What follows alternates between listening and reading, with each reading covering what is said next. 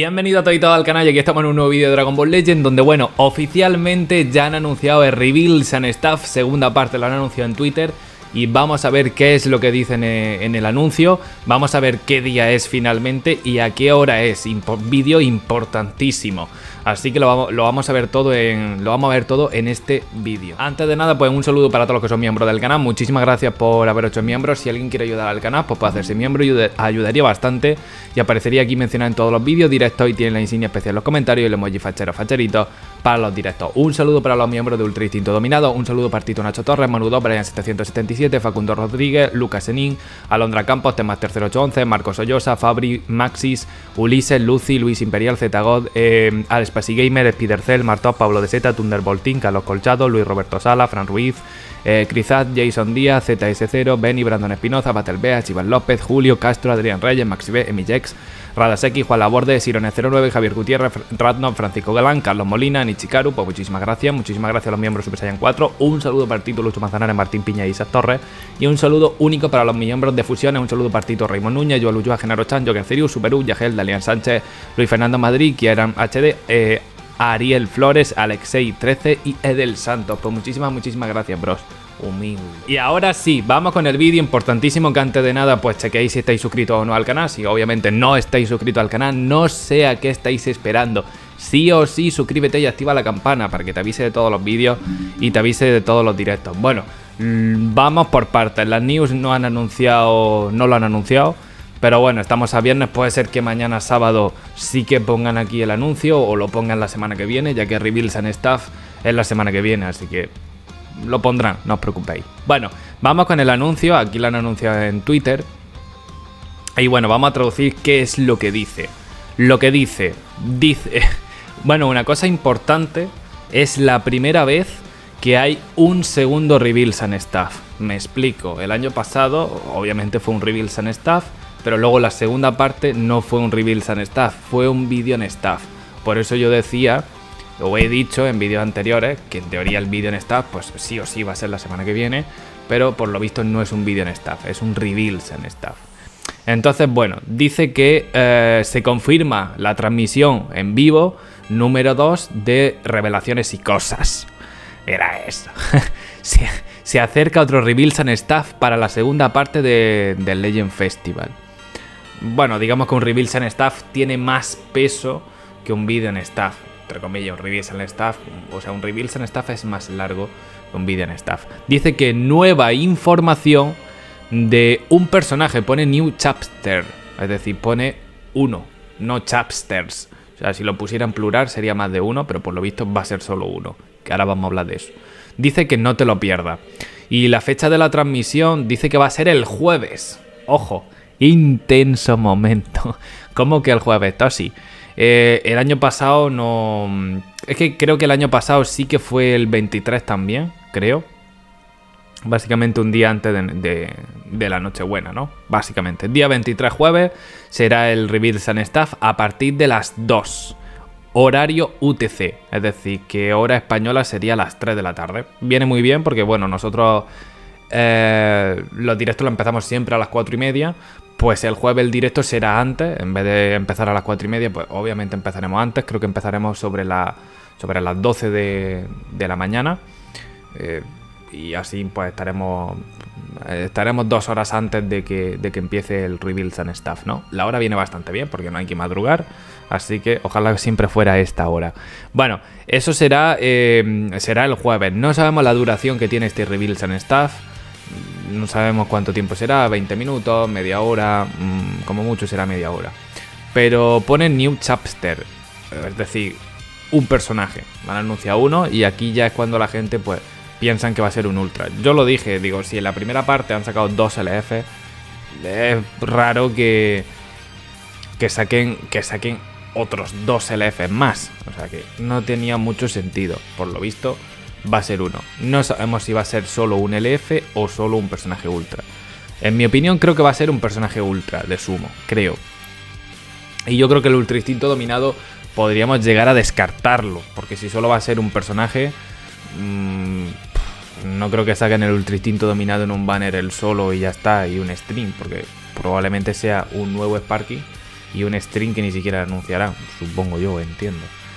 Pero bueno, es solo un personaje y tienen, que tener cuidado, no sabemos qué tipo de banner va a ser.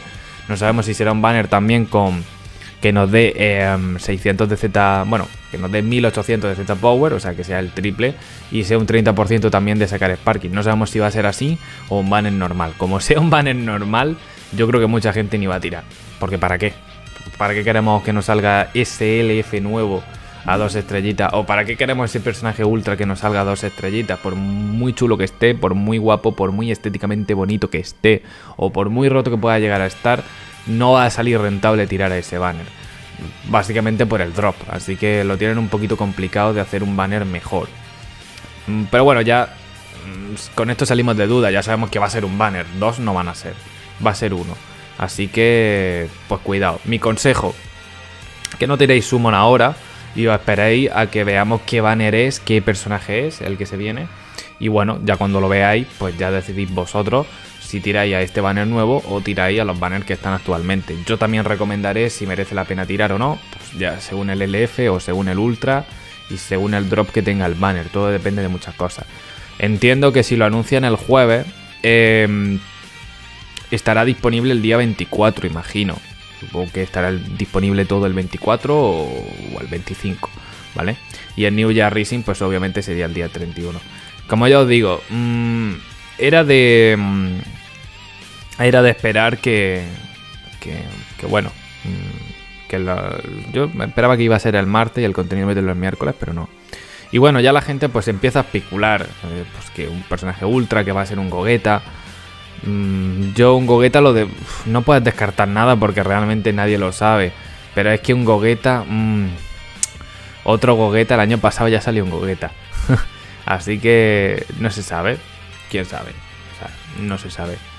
Yo la verdad que tengo hype y pienso que sí puede ser un buen banner, pero hay que ver muchas cosas. ¿Qué tiene de relleno? que Es que si saliera un Gogeta Ultra, por ejemplo, ponemos ese supuesto caso, es que no te va a salir rentable tirar al banner. Te va a salir más rentable tirar aquí. ¿Por qué? Porque aquí si te toca un LF, te toca tres veces ese LF. Es decir, que si tienes, eh, yo que sé, tienes el Vegeta Evo a dos estrellitas y te toca, lo subes a 6.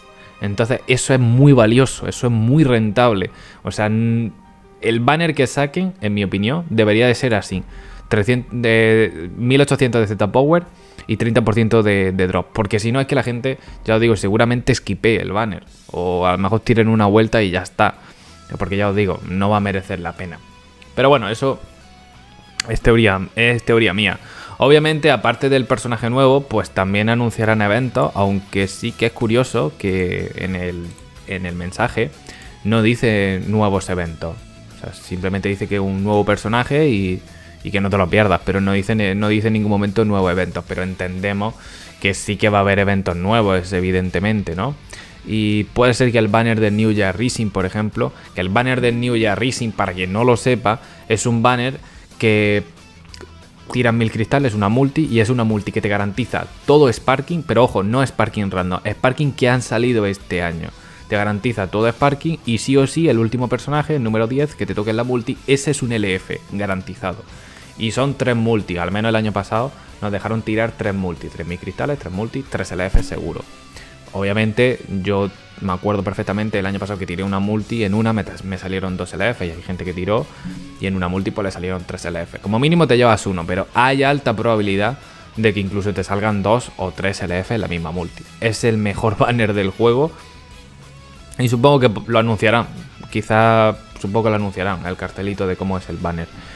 Como ya os digo, seguramente sean tres multi y luego ya, pues si quieres tirar una cuarta o incluso una quinta, pues ya sería de pago, ¿no? Así que eso sí que es algo que yo creo que sí que anunciarán.